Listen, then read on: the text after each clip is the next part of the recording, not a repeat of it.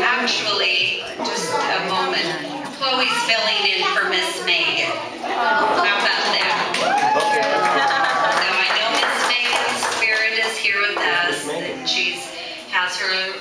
Guy Shane that hopefully all of you have seen the um, flyers up. You know, Shane has some medical problems, and so we all want to rally and try to help them as a family get through um, all of their, their trials that they're up against. So um, if you have any questions, you can ask us, and there's information out by the diplomas too. So let's give a big hand for Miss Megan wherever she is.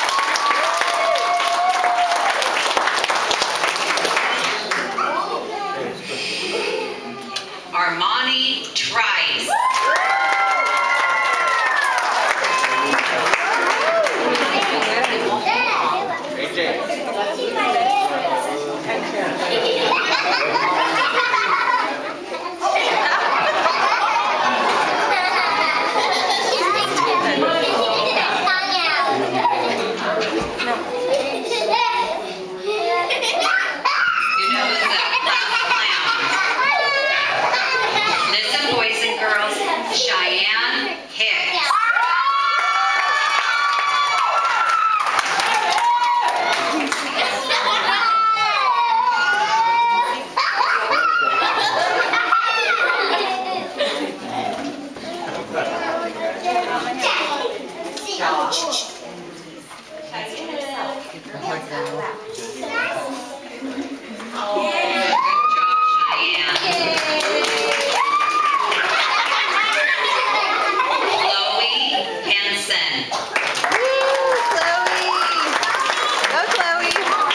Cheyenne.